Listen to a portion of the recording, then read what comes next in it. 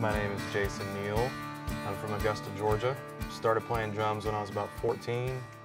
Um, but I'd always been in a house with music. My parents played in a cover band, you know, pretty much when I was three or four, they started playing in bars and like VFWs. And so I was always around music and would go to their rehearsals, every, you know, every weekend. And so I decided to start playing seriously when I was like 14 and uh, started taking like jazz and concert band and learned how to read music and, you know, all that kind of stuff.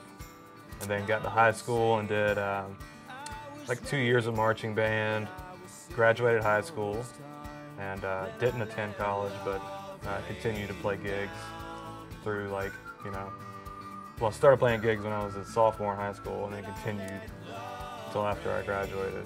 I was doing a gig in, uh, in Norfolk at a music store called AL&M, worked there for almost a year, and um, just kind of heard through some of my friends that, that uh, Carbon Leaf was looking for a drummer, and uh, so I kind of got in touch with them and, and uh, set up an audition.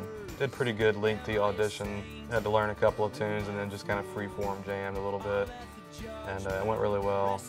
Then they asked me to, to do a, a, gig like two weeks from that day in Seattle, which I'd never been on the West Coast and I'd never been on like a been on a small plane but not a big jet, so it was like a first time for everything. You know, I was like, learn all these songs, pack up your stuff, and let's go. So it was pretty quick.